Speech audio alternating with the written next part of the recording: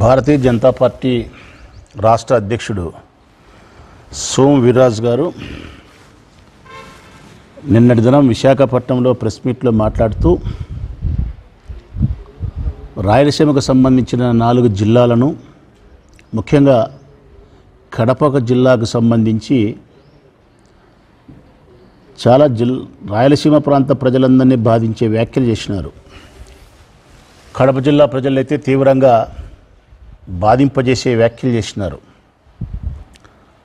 రాజకీయ కోణంలో విమర్శలు చేస్తూ హద్దులు దాటి జిల్లా ప్రజలను యావత్ ప్రజానీకాన్ని పూర్తి స్థాయిలో బాధింపజేసే వ్యాఖ్యలు చేసినారు. వారు చేసిన వ్యాఖ్యలు ఏమిటంటే రాయలసీమ ప్రాంత ప్రజలకు ఎయిర్పోర్ట్లా కడప జిల్లాలో కూడా ఎయిర్పోర్టా మనుషులను చంపుకుండేది మాత్రమే తెలుసు కడప జిల్లా ప్రజలకు. మనుషుల ప్రాణాలు తీయడం మాత్రమే తెలుసు కడప జిల్లా ప్రజలకు. మరొకటి తెలియదు. రాయలసీమ వారికి కానీ ముఖ్యంగా కడప జిల్లా ప్రజలకు కానీ ఇటువంటి ప్రజలకు ఎయిర్పోర్టా ఇది ఎంత వివాదాస్పదమైనటువంటి అర్థం లేని విమర్శగా భావించాలని అర్థం కావడంలే. యావత్ ఎంటైర్ రాయలసీమ ప్రాంతాన్ని అంతా నువ్వు బాధిస్తావా? కడప జిల్లా ప్రజలను పూర్తిగా బాధిస్తావా?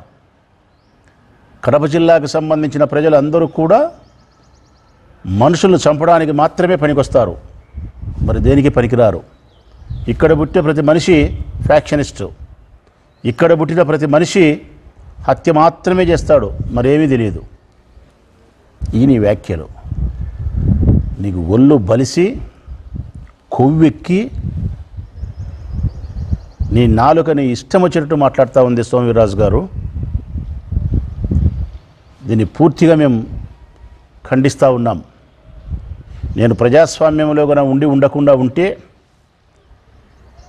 ఓ రాజకీయ పార్టీకి సంబంధించిన శాసనసభ్యునిగా ప్రజల పక్షాల నాయకత్వం వహించే బాధ్యత కలిగినటువంటి స్థానంలో లేకుండా ఉండి ఉంటే నా తల్లి జన్మనిచ్చిన ఈ తల్లి ఈ కడప గడ్డ మాకు సంస్కారాన్నే కానీ నేర్పి ఉండకుండా ఉండి ఉంటే ఈ పాటికి నేను నేలిక కొయ్యాల.